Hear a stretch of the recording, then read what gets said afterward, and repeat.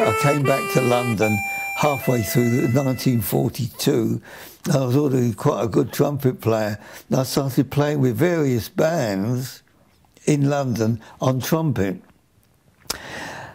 And in those bands, there were people like Ron Goodwin, who was a very famous, well, he ultimately became a very famous conductor, but in those days, he was just another trumpet player.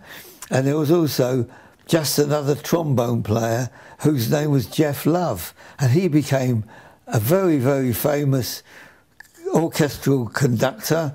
The first, very first thing when they made Bridge Over the River Kwai, wanted somebody to play the harmonica in the film or for the film of them as they marched, as the guys marched into captivity, they were singing or whistling Colonel Bogey.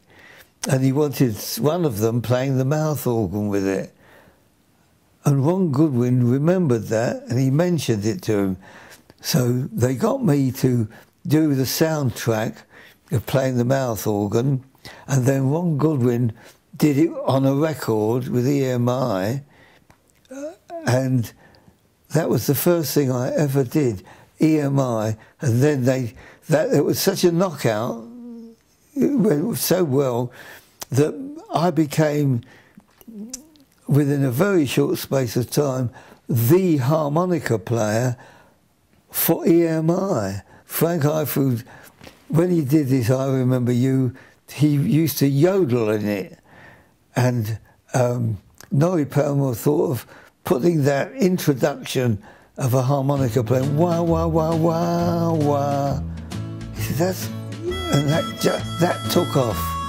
And after that, everybody, all the singers, all everybody who was any sing anybody in the singing field, Dusty Springfield, Kiki Dee.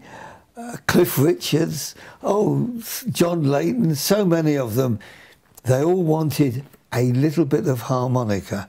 So I was going from place, studio to studio, just putting on little bits of harmonica.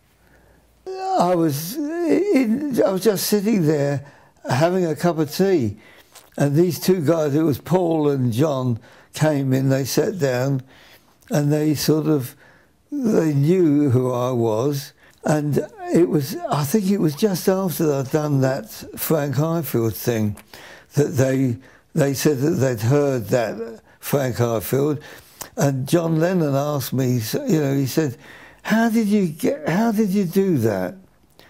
I said, "Show." He said, "I said, have you got a harmonica?" He said, "Yeah." I said, "Well, this one."